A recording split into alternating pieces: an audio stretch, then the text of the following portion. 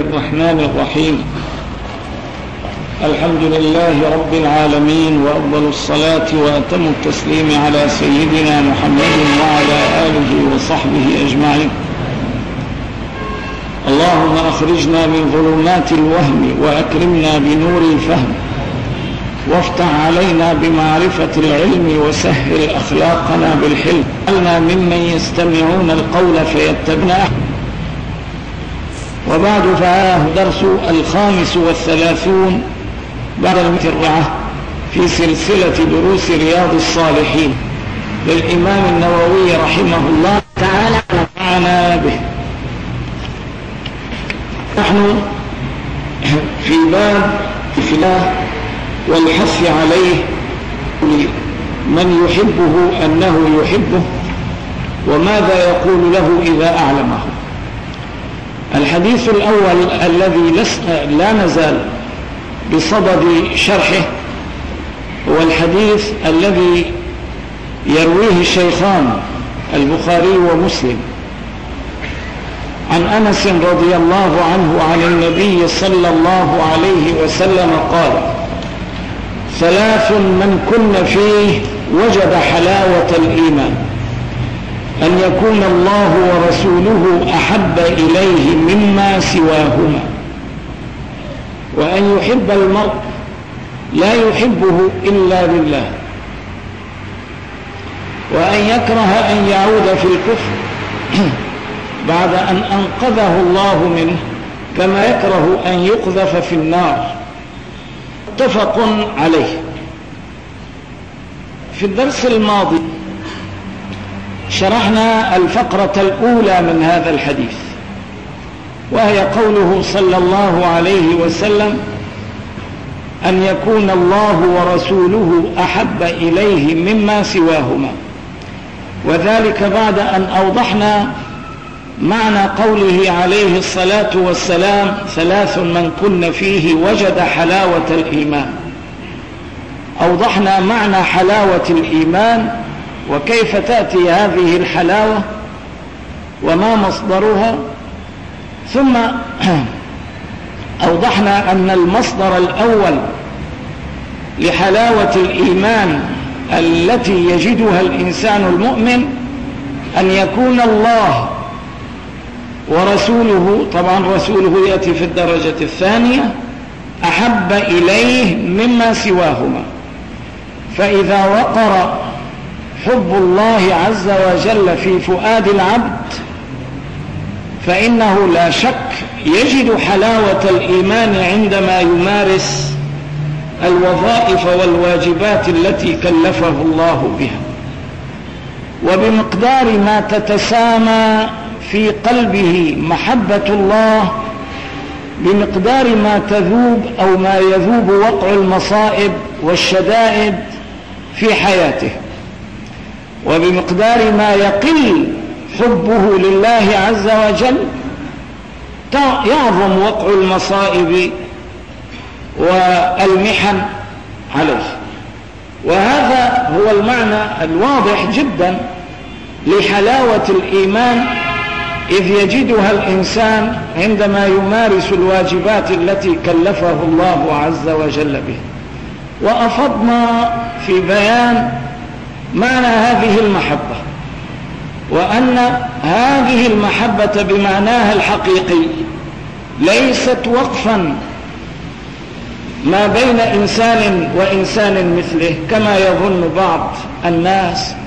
لا بل هذه المحبة أيضا تكون من العبد لربه سبحانه وتعالى. لا شك في هذا ولا ريب.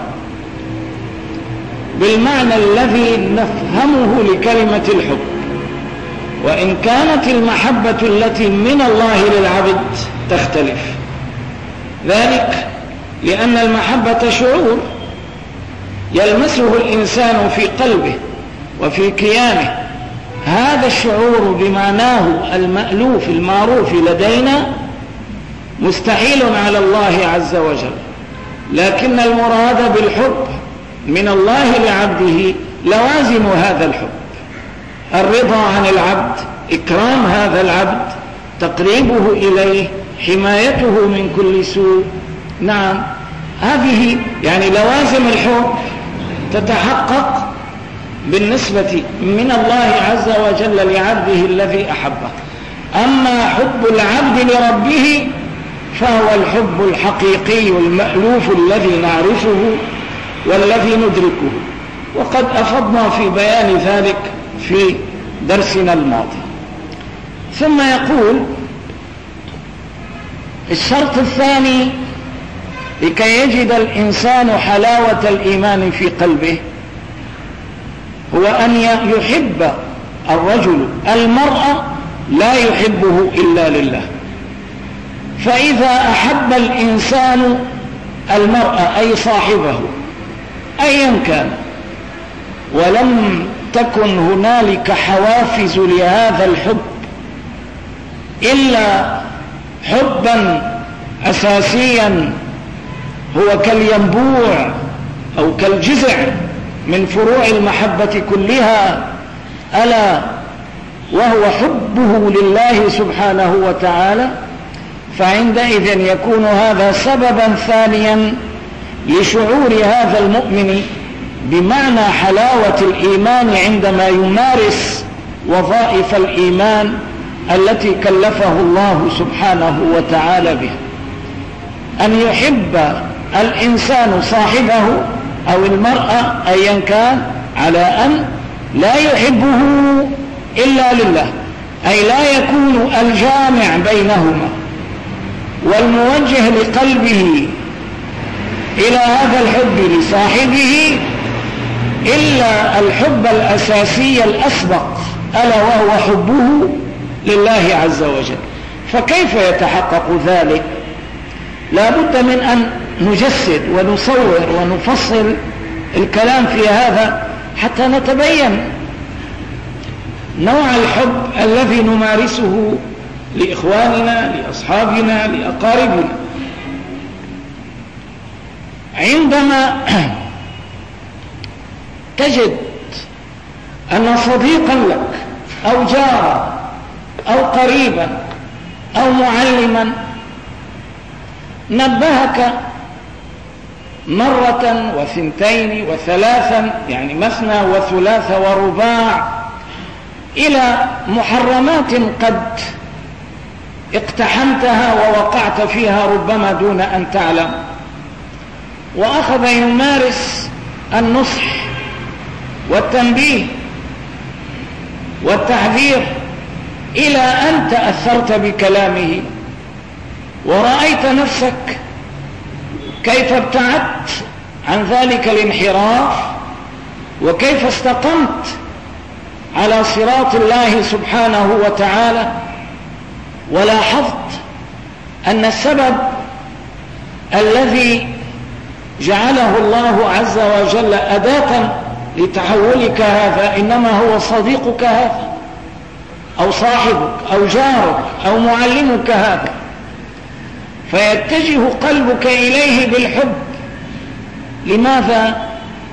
لأنك تعلم أن فلانا هذا هو الذي انتشلني من شقاء. ترى ماذا كانت عاقبة أمري؟ لو ظللت على هذه الحالة من الانحراف إلى أن يتخطفني الموت. إذا لوقعت في براثن شقاء لا نهاية له. فما أعظم ما أسداه إلي هذا الإنسان من معروف. تلاحظ هذا فينمو في قلبك حب لهذا الإنسان. سبب هذا الحب أنه انتشلك من الضياع. ومن أسباب الشقاء والغواية وارتقى بك إلى صراط الله عز وجل فحبك لهذا الإنسان لماذا؟ هذا حب في الله أي حب من أجل الله سبحانه وتعالى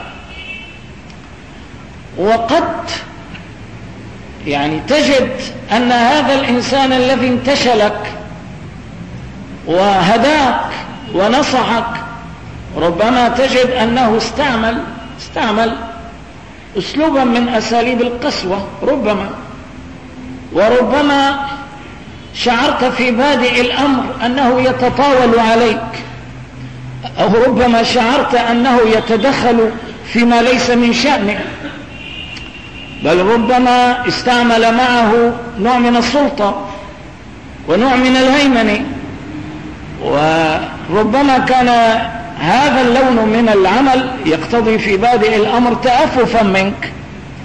لكن لما تأثرت بكلامه واستجبت إلى نصحه وسرت في الطريق الجديد وأخذت تفكر في الطريق السابق الذي كنت تسير عليه تحول ضيقك به إلى شكر.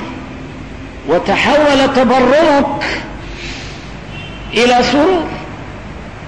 وتحولت كراهيتك له لأنه كان يغلظ عليك أو ربما تتصور أنه يتدخل في شيء من خواص شؤونك. تحول ذلك كله إلى حب. السبب أنك شعرت بحبك لله. شعرت من خلال نصح هذا الإنسان لك بلذة الإيمان بالله. شعرت بالأنس بالله عز وجل.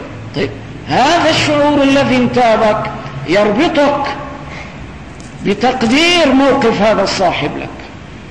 وتقول ما أعظم ما أسدى هذا الإنسان إلي من معروف؟ هذا لون من أسمى ألوان الحب في الله عز وجل. والوالد عندما يحب ولده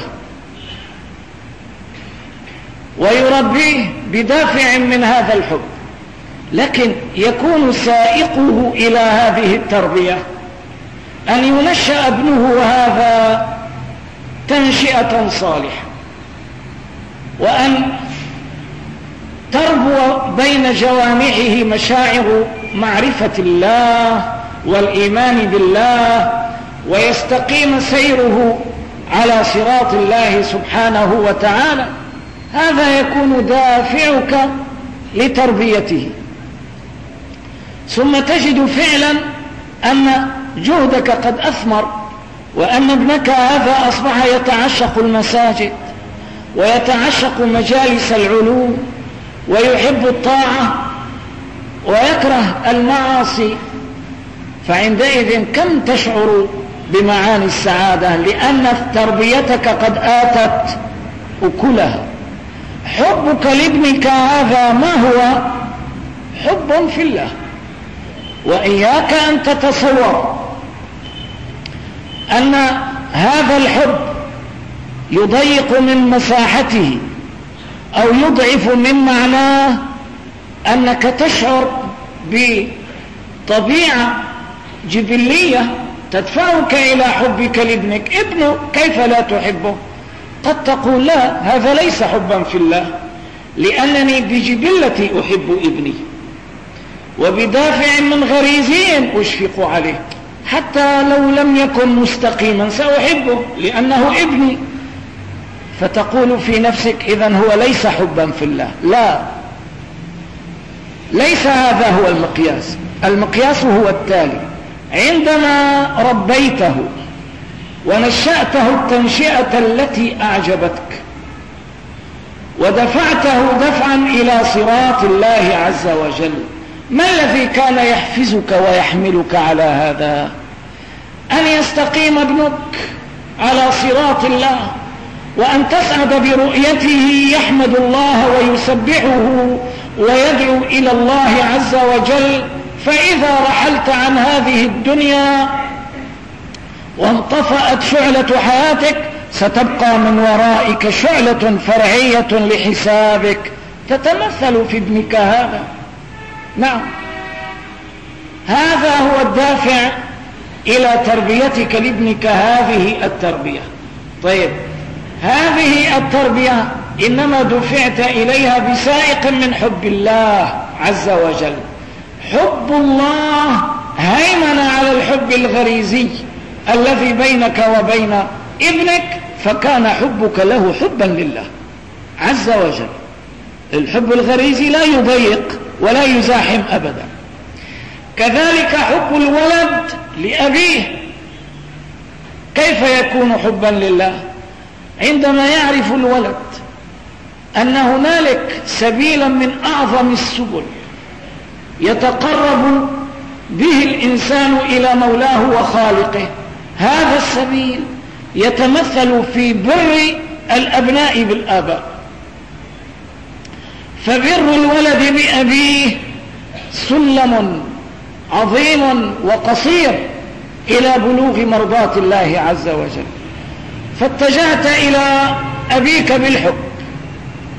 وفسرت وترجمت هذا الحب برا به وتذللا له وخضوعا لأوامره وخدمة له حتى هيمن كيانك على قلبه حبا.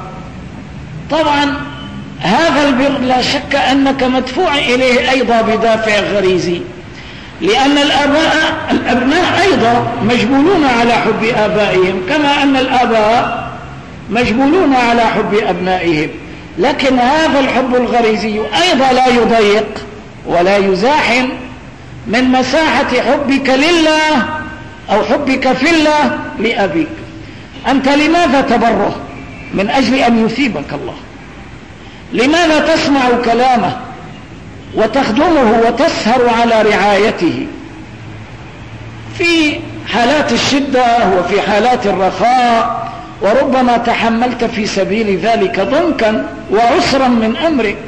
طيب ما الذي يحملك على هذا الصبر؟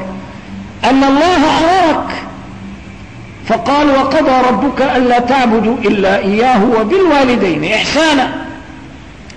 فكان نسيج هذا الحب منك لأبيك مدفوعا إليه بسائق من حبك لمن؟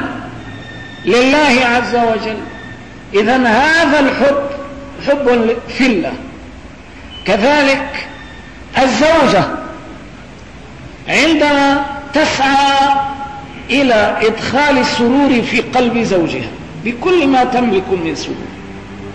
عندما تسهر على رعاية شأن زوجها بكل ما تملك من سرور. عندما تخدمه بكل ما تملك من سبل ما الذي تقصد إليه من وراء ذلك. إن كانت تقصد من وراء هذه الخدمة وهذه الرعاية وهذه السهر وهذا السهر أن تنال رضا الله فحبها لزوجها حب في الله مثل حب الولد لأبيه وحب الوالد لابنه وحب الصديق لصديقه الذي رأيناه الآن. لكن ممكن امرأة أخرى تقوم بنفس العمل تخدم زوجها الخدمة ذاتها وترعاه الرعاية ذاتها لكنها ليست مشدودة إلى ذلك بدافع من الرغبة في رضا الله. إنما هي مدفوعة إلى ذلك بدافع غريزي هي تحب زوجها حبا غريزيا ليس فيه عرق من دافع الحب الرباني. وبما أنها تحبه هذا الحب الغريزي الذي تعرفون فهي تركض في خدمته في رعايته نحو ذلك. العمل واحد لكن ذاك حب في الله وهذا ليس حبا في الله. ذاك حب في الله تمارس من خلاله زوجة عبادة وأي عبادة كأنها تتبتل إلى الله في محراب طاعة. تماما دون أي فرق. والمرأة الثانية تقوم بالعمل ذاته ولكنها لا تنال أي أجر. لأنها إنما تستجيب لغرائزها. الرجل بالنسبة لزوجه كذلك.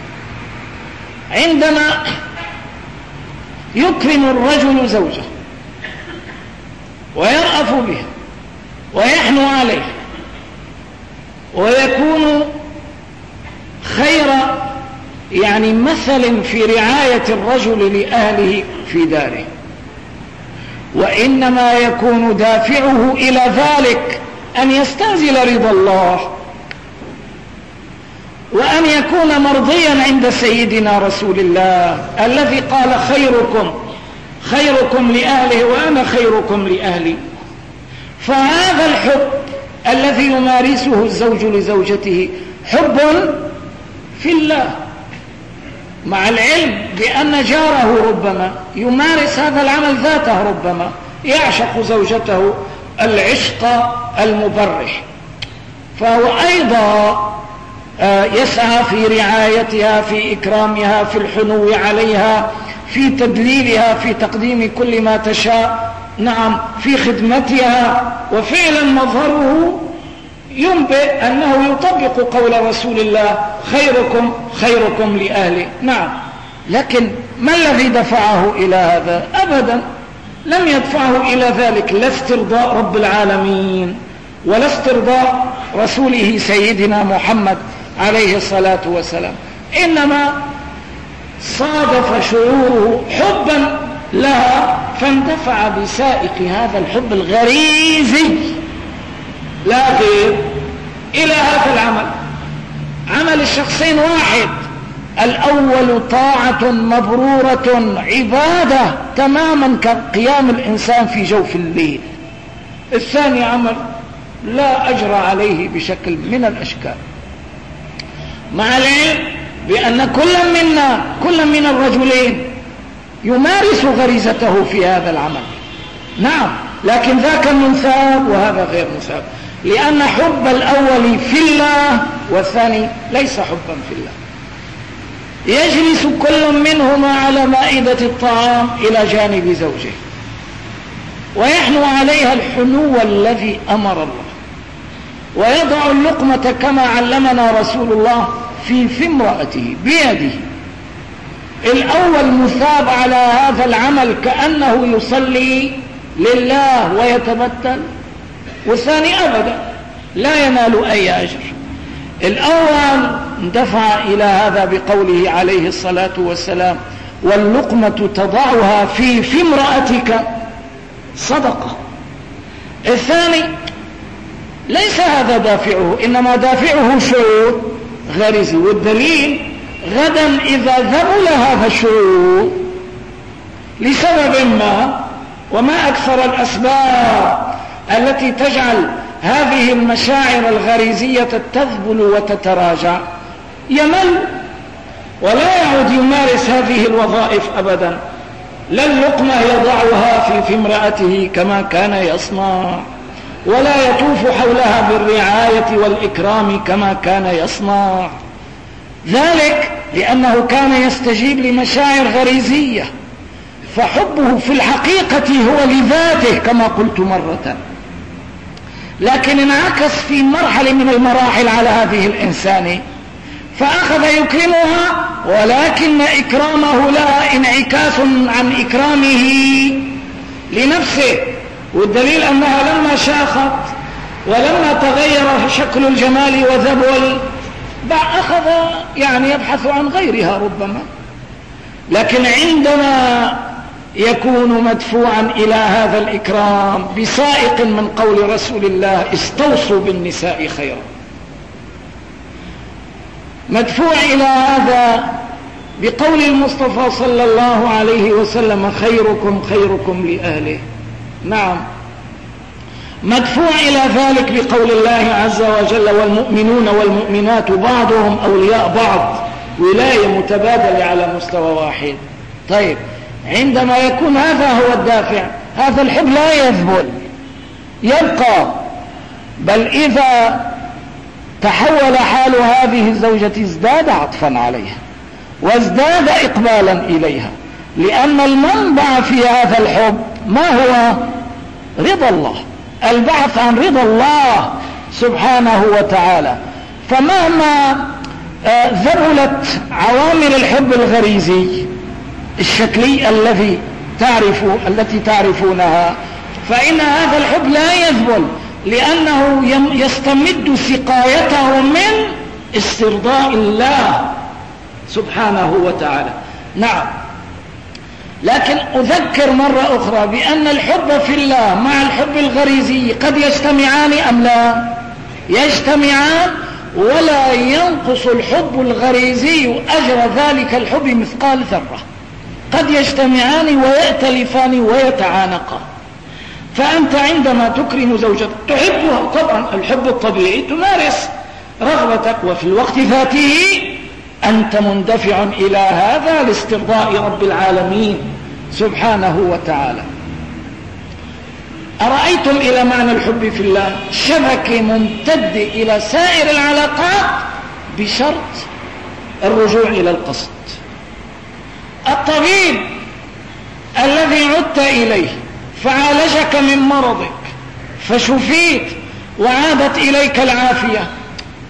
فعدت إلى نشاطك المقبول عند الله نشاطك في العبادة نشاطك في الطاعة نشاطك في الأمر بالمعروف والنهي عن المنكر. فجعلك هذا تشعر بحبك لذلك الطبيب. تقول انظر كيف أن هذا الطبيب كان عونا لي لرجوعي إلى نشاطي الذي يرضي الله. كيف أن هذا الطبيب كان عونا لي في العود إلى عباداتي وطاعاتي وقيامي بالأسحار ونحو ذلك. تحبه في الله. الطبيب ربما لم يكن يمارس عمله هذا لله. ربما يمارس عمله لأجر كما قال الإمام الغزالي. لكن أنت أحببته لأن طبه قربك إلى الله. عندما تجد إنسانا أكرمك أحسن إليك تريد أن تتزوج ووسائل الزواج غير مهيئة بين يديك. لكن جاء إنسان يسر لك هذه الأسباب وحطم السدود أو عالج لك بعض يعني يسر لك بعض الأمور. قد يكون الرجل مندفع لله أو لغير الله في هذا.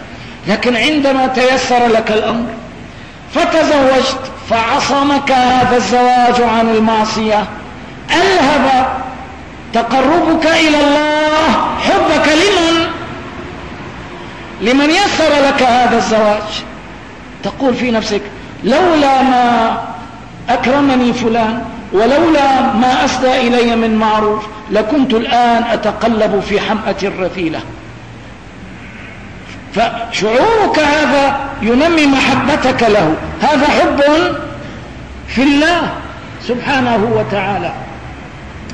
كذلك الإنسان الذي يتعاون مع تاجر مثلي التاجر مع التاجر الصانع مع الصانع الصانع مع الزارع. الإنسان الموظف لعامة الناس ولسائر المواطنين. عندما يكون تكون أنشطة هؤلاء الناس متجهة إلى هذه العلاقة التي تتنامى بين الناس من أجل استرضاء الله من أجل التقرب إلى الله. فالحب الناتج عن ذلك ماذا نسميه؟ حبا في الله عز وجل. ومن هنا ندرك أن الحب في الله سهل. لا يحتاج إلا إلى أن يعني يحرر النية.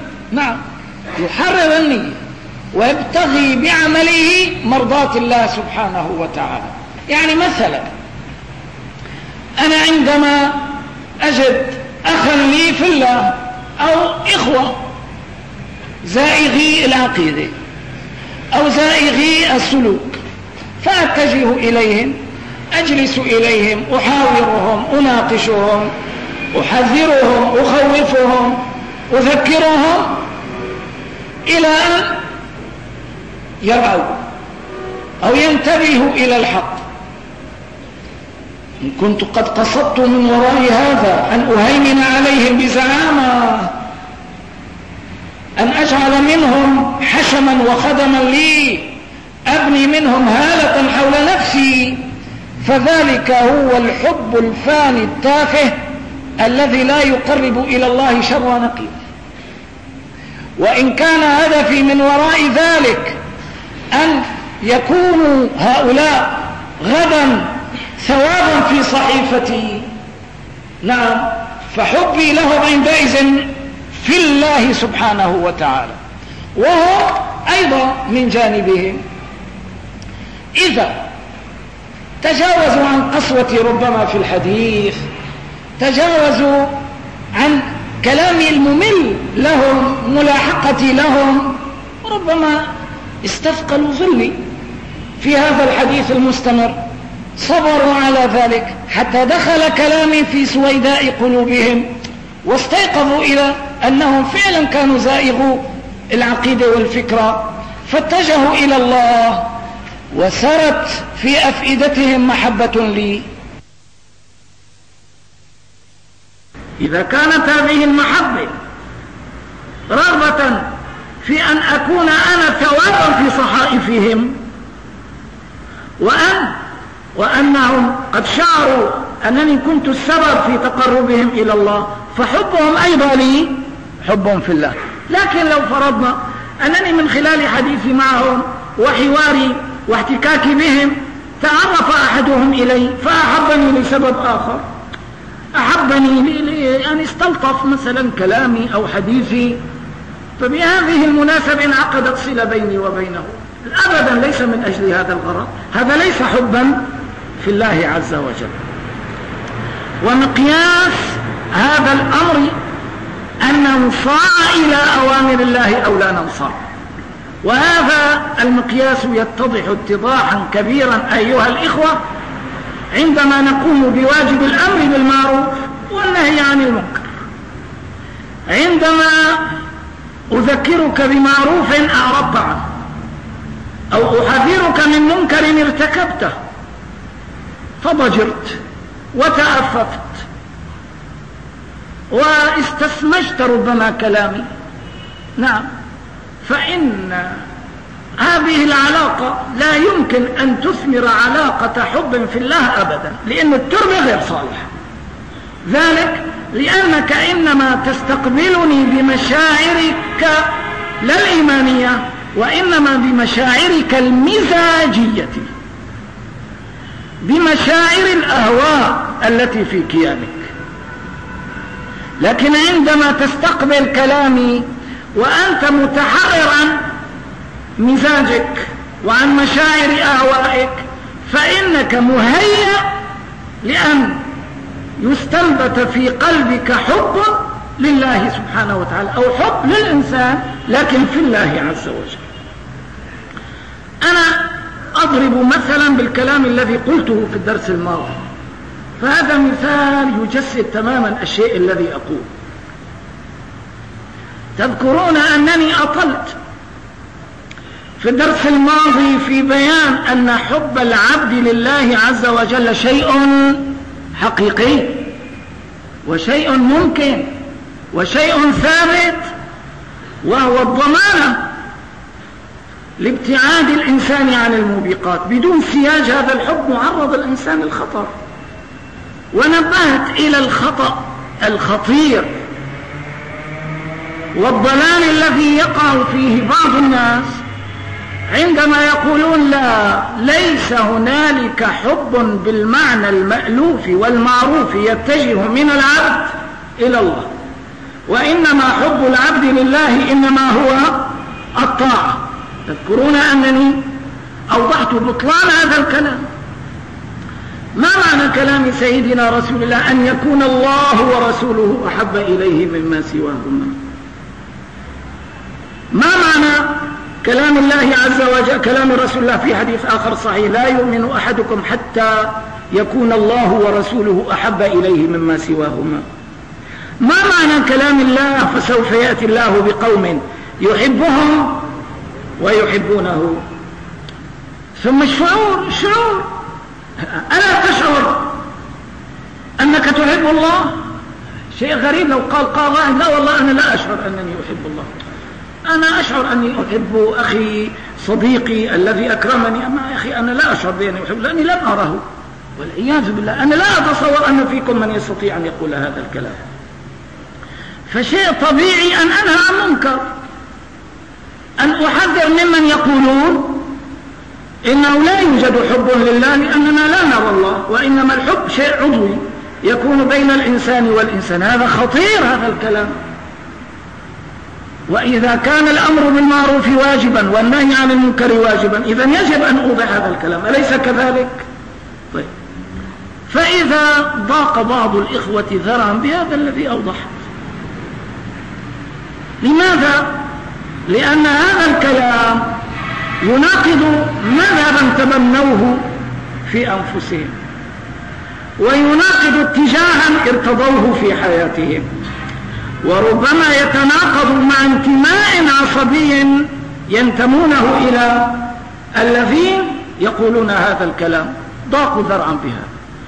هل يمكن لهذه المشاعر أن تكون تربة لشيء اسمه الحب في الله؟ أبدا.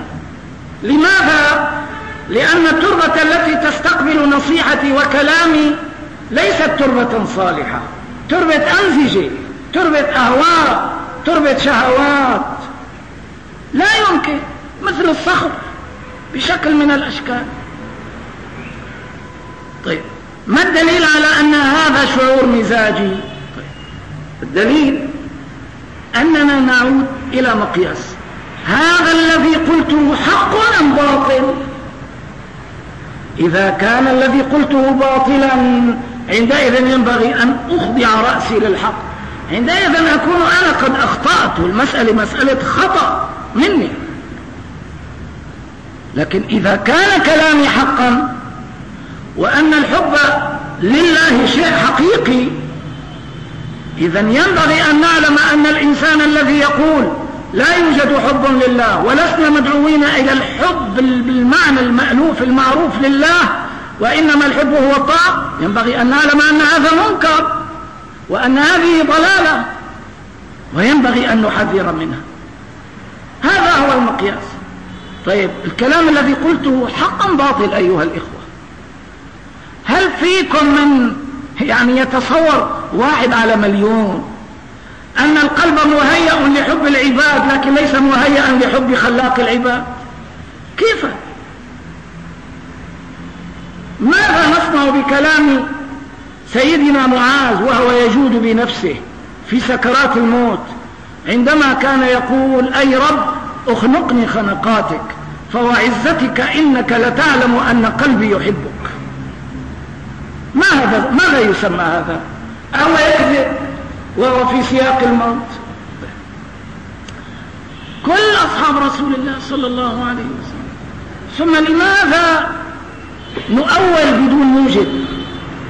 ونحن الذين نرفض التأويل ونقول ينبغي أن نفسر الكلام على ظاهره. هنا إذا فسرت الحب على ظاهره لا يحدث لا تشبيه ولا مشكلة بالعكس يصلح, يصلح تحقق ما تراه متفقا مع واقعك وشعورك. إذا ما قلته حق فلماذا نضيق ذرعا بهذا الكلام؟ فعلا ضاق ذرعا بعض الإخوة. لماذا أطلت في هذا الموضوع؟ ليت أنك تركت هذا الموضوع وفصلت القول في حب الإنسان لأخيه الإنسان لله وفي الأمر الثالث. لماذا يا أخي؟ تستطيع أن تناقشني إذا كنت مخطئا. عندئذ نعم أستغفر الله. لكن إذا كان كلامي حقا إذا أولئك الناس متورطون في منكر. أليس علينا أن ننهى عن المنكر؟ انظروا إلى المزاج ماذا يصنع. هذا الكلام يعاند ويعارض شعورا مزاجيا عندي شعورا عصبيا لانتمائي. فأنا أتألم لذلك لا أحب أن أسمع. طيب هل هذا هو معنى قبول النصح؟ هل هكذا يكون التناصح؟ لا. هذا مرفوض. إن فتحنا هذا الباب ستجدون أننا سننتهي إلى نتيجة لا نستطيع أن نفتح فمنا بإنكار أي منكر. لأنك كما تشعر بتألم من أنني جرحت انتماءك العصبية أو المزاجي. طيب أصحاب المنكرات الأخرى يشعرون بالشعور ذاته يعني لو قلت هنالك رجال يسيئون التعامل إلى أهليهم وزوجاتهم. هذا لا يجوز. هذا عمل سيء وهذا ينتهي بأصحابهم بأصحاب هذا العمل إلى الضلال إلى تيه وأطلت الكلام في هذا. طيب إذا لهؤلاء الذين يصابون بهذا الكلام أيضا أن يضيقوا ذرعا وأن يقولوا لي يا أخي ما في منكر تاني غير هذا تحكي يعني احكي لنا شغلة تانية شايفين كيف؟ وإذا تركت هؤلاء وتحدثت عن رجال مثلا أهملوا تربية أولادهم وبناتهم وتساهلوا في موضوع الحجاب الذي أمر الله عز وجل به. ونبهت إلى خطورة سوء التربية وأمرتهم بأن يضحوا بكل شيء في سبيل تربية أولادهم وبناتهم وأن الله سيعينهم إنهم فعلوا ذلك. وأطلت في هذا سأجد ووجدت فعلا فعلا. من يقول يا أخي ألم تبق منكرات إلا هذا المنكر؟ هنالك ظروف هنالك أوضاع. طيب نترك هذا أيضا. نتحدث عن أولئك الذين طابت لهم الغربة في بلاد الكفر واستمرأوا الاستيطان في تلك البقاع. ثم تحول الاستيطان إلى تجنس. ثم ضاع أولادهم بين شقي ظلام الكفر الوبيل هناك والتربية الجانحة. وأخذت أطيل وأوضح وأحذر وأبين وأوضع أحكام الشرع. سيأتي من يقول وجاء فعلا من قال فعلا أيها الأخوة كل هذا الذي أقول جاءني من يعني تأثر ألم يعني يبقى من المنكرات إلا الحديث عن أولئك الناس الذين ذهبوا لظروف بدل من أن يا أخي تعذرهم تجي تحكي هذا الكلام؟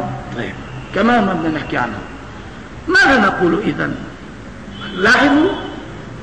عندما نستقبل التناصح بالمشاعر المزاجية لسوف تكون النتيجة أن نغلق باب التناصح على أنفسنا. هذا ليس منهجا إنما المنهج البديل أن نسمع الكلام. فإذا وجدنا هذا الكلام حقا ينبغي أن نكون ممن يستمعون الحق فيتبعون أحسنه. ينبغي أن نقول جزاك الله خيرا. نعم. وفي ظني ويقيني أنني قلت كلاما.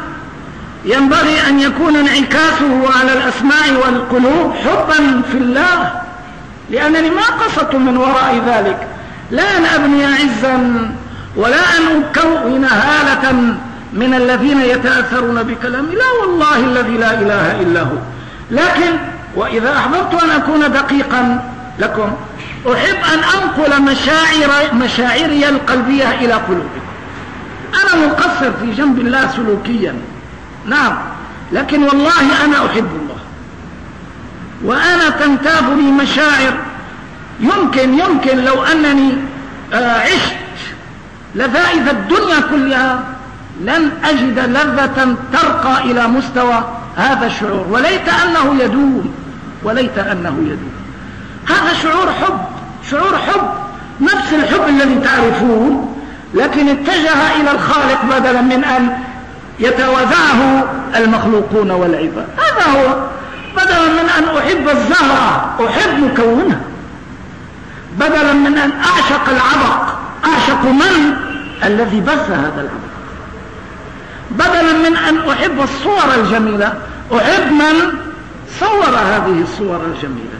فأنا عندما حدثتكم طويلا عن مشاعر الحب وأن الإيمان العقلي والله لا يحصله إلا الحب القلبي بالمعنى الذي قلت أنا كنت مندفعا إلى هذا رغبة في أن تشعروا بما أشعر وأن تكونوا أكثر شعورا مني. أنا مقصر حتى في هذا. وأن تجدوا من هذا الشعور ما يحصنكم ضد تيارات الكون الجانحة. وقد قلت ولا أزال أقول لماذا نجد في تلك المناطق؟ في تلك المناطق وتصوروا أي مناطق شئتم التي فيها من يحاربون وينكرون الحب في الله. لماذا تجدون ازدواج الشخصية كما قلت؟ ألا تلاحظوا في المصائف أقل المراتب لاحظوا الرجل إذا أذن للصلاة رأسه بما يصلي. لكن ما من شراب مسكر إلا ويعكف عليه. ما من موبقة من الموبقات إلا ويرتكبها. بل ما من شذوذ من الشذوذات إلا ويتقلب في حمأتها. والدنيا كلها مسرح ومنطلق لهم إلى هذه الأمور. وأنا لا أعين جهة وإنما أتحدث عن واقع ولكم أن تجسدوه في أي شيء موجود أم لا؟ هذا ما نريد أن نقول. طيب ما العاصم؟ والله إن العاصم واضح لكن العاصم غائب. هؤلاء ربوا تربية على أحسن الأحوال عقلانية ولكنها تربية خاوية من حيث القلب. لم ينشأوا على حب الله بل قيل لهم ما في شيء اسمه حب لله في حب للإنسان لم ينشأوا على حب الله وحب رسول الله صلى الله عليه وسلم. والقلب كالمرآة. إذا لم يهيمن عليه حب الله لابد أن يهيمن عليه حب آخر. عندئذ سيهيمن عليه حب الشهوات والآواء والملاذ والغرائز ونحو ذلك. القلب فارغ. من الذي استعمره؟ استعمرته الدنيا. المال كثير. والنعم عم تتراقص. والشباب في أوجه. نعم. إن الفراغ والشباب والجدة مفسدة للمرء أي مفسدة؟ شيء طبيعي. لكن ما العاصم من هذه المفسدة؟ كلكم يعلم. وتجربة الشباب المستقيم في بلادنا هي أكبر دليل. ألا ترون إلى شباب يعيشون أوج شبابهم ويرون المغريات تتراقص من حولهم. وكل منهم يعيد سيرة سيدنا يوسف على نبينا وعليه الصلاة والسلام في سلوكه. أنا أعرف كثيرا من هؤلاء. أعرف. ترى ألا تسألون ما الذي عصم هؤلاء؟ مجرد العقل؟ قرار العقل؟ والله القرار العقلي أبدا ما بيقدم ولا بيأخر ما حدا بيضحي في سبيل واحد زائد واحد يساوي اثنين.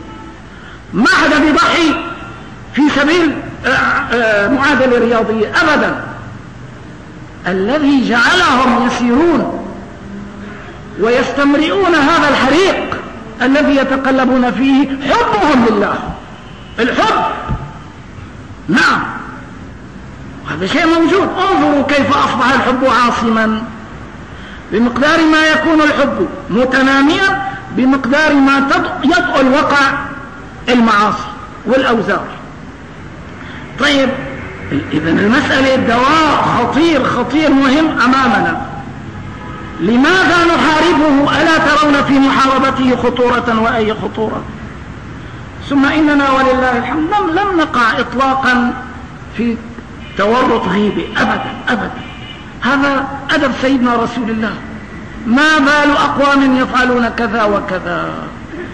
على أننا إذا توقف إنكار المنكر على تعيين أبطال المنكر قال العلماء جميعا لم يعد هذا غيبة كما قال الإمام النووي في كتابه رياض الصالحين في أول باب الغيبة أو الحالات التي يباح فيها الغيبة. ومع ذلك الأمر لا يتوقف على أن نعين أو نخصص أو نوجه وإنما نبين واقعا. وهذا الواقع موجود منه نماذج؟ أينما التفتم؟ عندنا فيه نماذج لكنها ولله الحمد. نماذج محدودة. لماذا نضيق ذرعا لماذا؟ ما, ما السبب؟ نضيق ذرعا لأن هذا الكلام لم يوافق مزاجي. نعم هذا غلط. ينبغي أن نتحرر من الأنتجة. نقول هذا صحيح أو غير صحيح؟ نعم. وكما أن أولئك الناس ينثرون باطلهم وينشرونه هنا وهناك وفي نثره نثر لداء وب طيب ينبغي بالمقابل أقل المراتب نحن ماذا نصنع؟ أن ننشر ما يحارب هذه الجراثيم ما يطهر الجو. ينبغي أن نفعل هذا. وأنا أقول لكم نحن في عهد لا نحتاج فيه إلى مزيد فكر والفكر ضروري. لكن أقول إن طرق الفكر معبدة ولله الحمد. الكتب العلمية ما أكثر ما تنشر. والرغبة في القراءة ولله الحمد رغبة تبلغ الأوج. وآية ذلك مقياس معرض الكتاب في كل عام. انظروا إلى آثار هذا المعرض. كيف تتبخر الكتب لا سيما الإسلامية بشكل عجيب وغريب. إذا الفكر ولله الحمد قد وصل إلى الأوج. ما الذي ينقصنا. ينقصنا أن نسيج هذا الفكر الإسلامي بسياج الحب. أيضا بسياج الخوف والتعظيم. العاطفة يعني العاطفة عندنا عاطفة دافع الحب. آه رابعة الخوف مبجل العظمة التعظيم. هذا ما ينبغي أن نصنعه. فلكي يكون حبنا لله أنا إذا قلت هذا الكلام ينبغي أن أجد من يشكر لا أجد من ينتقد. وإذا وجدت من يشكر فلسوف أقول الحمد لله الذي جعل هؤلاء الإخوة مثوبة في صحيفتي وجعلني مثوبة في صحائفه قلت مرة في كتاب صغير إلي اسمه إلى كل فتاة تؤمن بالله. هذا الكتاب طلع منه يمكن ما لا يقل عن مئة ألف نسخة. قلت في أواخر هذا الكتاب خطابا لأي فتاة قلت يا أختي والله لو أردت أن أنطلق من دافعي الغريزي الذي يدفع بعض الناس إلى مخادعتك أنه لا اظهري جمالك وكله كذا لو أردت أنا الآخر أن أنطلق من مشاعري الغريزية لقلت كما يقولون لك لأنني أنا الآخر رجل. وأحمل من هوى الرجال ما يحمله الناس جميعا. لكني والله أحب أن تكوني مثوبة في صحيفتي وأن أكون مثوبة في صحيفتك غدا يوم القيامة. شو هذا الحب في الله؟ فلا تزعلي مني. وعندما قرأت البارحة أو أول البارحة كلاما لبعض الصحفيين في حوار مع بعض المنحرفات في القطر المصري اللائي تاب الله عز وجل عليهم فتحجبنا وسلكنا السلوك الرباني المتسامي ورأيت استجابتهن وتأثرهن بهذا الكتيب الصغير إلى كل فتاة تؤمن بالله. شعرت أنني امتلكت كنوز الدنيا كلها. هذا هو الحب في الله. هذا هو الحب في الله. يعني أنا غدا إذا رحلت إلى الله عز وجل يكفي أن أقول يا رب لك الحمد على أن سخرتني وأنا لا يعني أستأهل شيئا. أنت الذي ألهمت وأنت الذي أكرمت وأنت الذي وفقت. سخرتني للدعوة إلى دينك ولإدخال جذوة حبك في فؤادي. إماء لك أو عباد؟ لماذا لا نسعى على هذا النهج على هذا النحو؟ لكن في المقابل أيضا جاءتني من اعترضت وناقشت وتحدثت وقالت يعني الباري عز وجل شو بيضره انه نحن نطلع احرار مثل ما بدنا وبدون حجاب وبدون شيء؟ شوفوا كيف. يعني هذا هو النقد. لا. الحب في الله يقتضي التناصح والتناصح يقتضينا إذا تكلمت أن يكون كلامي لله فقط. هذا ما ينبغي أن تطالبوني به وأن يكون كلامي مطابقا لأحكام الشرع وهذا ما ينبغي أيضا. أن ألزم نفسي به وأنا دائما أقول اللهم أعصمني من الزلل في القول والعمل. فإذا سمعتم القول ينبغي أن تضعوا أمزجتكم تحت أقدامكم. ينبغي أن تضعوا ميولاتكم تحت أقدامكم. وإلا لن نتناصح.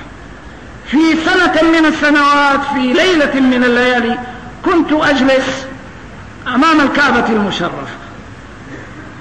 وإذا برجل أقبل وبيده حذاؤه وجلس أمامي ووضع آه، الحذاء هكذا.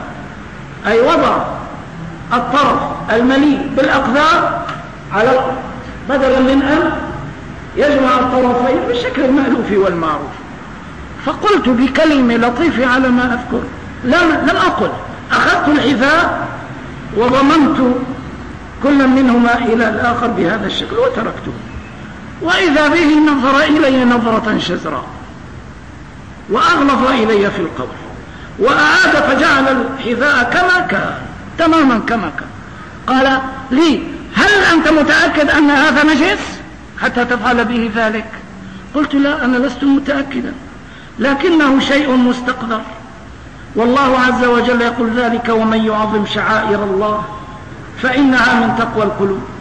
أنت لماذا خلعت حذاءك عندما دخلت من أول الحرم وأمسكته بيديك؟ إذا كان الأمر كما تقول فلتبقى يعني تلبسه وتسير به كما كنت في الزقاق في الأزقاء الأخرى. ورأيت الرجل يواجهني بأمزجته. وبأهوائه. فقلت له أنا مخطئ وأسأل الله المغفرة ولا تؤاخذني يا أخ. طيب هذا مقياس لمشكلة نعاني منها. أليس علينا أن نعالجها؟ أليس علينا أن نستبدل بهذا مقياس آخر؟ هل أنا أقول كلاما صحيحا؟ إذا ينبغي أن تطيع. أم أقول كلام باطلا؟ رد علي كلامي وأنت مشكور ومأجور. إذا هذه خلاصة حديثنا عن حب العبد في الله سبحانه وتعالى. بقي مستوى آخر من حب العبد في الله وهو مستوى ذكره العلماء الربانيون. هو أن يحب الإنسان جميع عباد الله عز وجل أيا كان. لماذا؟ بدافع واحد. هو أن هذه الخليقة هي عيال الله. هؤلاء الناس كلهم من؟ عيال الله. منسوبون إليه. عباده. طيب أرأيت إذا كان قلبي مليئا بحب الله عز وجل وقيل لي أتعلم من هم هؤلاء؟ هم عيال الله. هم عباد الله. كيف يتجه قلبي إليهم؟ ألا يتجه بالحب؟ ألا يتجه بالتقدير؟ ألا يتجه بالاحترام؟ لماذا؟ لنسبهم إلى الله. لانتسابهم إلى الله عز وجل. هذا هذا الحب هو البوابة الكبرى لتعامل الإنسان مع عباد الله جميعا وهو المنطلق. ثم بعد ذلك يأتي دور البغض في الله والحب في الله الفرعيين. لذلك قد يقول منكم قائل طيب بل يا أخي في ملاحدة في كفار. نعم الملحد والكافر والفاسق والفاجر. تنظر إليهم جميعا من منطلق أنهم عباد الله وعياله وأحب الناس إلى الله أنفعهم لعياله كما ورد في الحديث. طيب إذا من منطلقي الأول احترامي لعباد الله جميعا.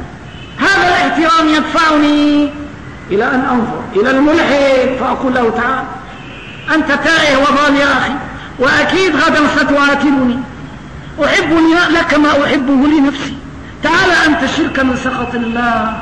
تعال أنت شرك من الضياع. أنت أخي في الإنسانية. أنت عبد من عباد الله مكرم على الله. ألم يقل ولقد كرمنا بني آدم؟ بني آدم ألا تحب من كرمه الله؟ وحملناهم في البر والبحر ورزقناهم من الطيبات وفضلناهم على كثير ممن خلقنا تفضيلا. فإذا أصغى إلى كلامي فقد عزز هذا الحب وترسخ. وإذا لم يصغي إلى كلامي واستكبر وتجبر عندئذ يأتي دور البغض في الله. البغض في الله عندئذ يكون عارضا ولا يكون أساسيا. نعم. انظر إلى نوح. كم دعا قومه؟ وكم صبر؟ بأي قوة صبر؟ بقوة الحب. الحنو عليهم الحنو على عباد الله. فلما استيأس منهم ولما أثروا الاستكبار عندئذ جاء دور البغض في الله. إذا البغض في الله جاء عارضا لكن المنطلق ما هو؟ الحب في الله. ولولا هذا الحب في الله لما انطلق الإنسان إلى دعوة جاهل ولا إلى دعوة فاسق أو كافر أو تائه أو ضال ولهذا الكلام تتمة نرجو أن نتوفر عليها إن شاء الله في درس قادم والحمد لله رب العالمين.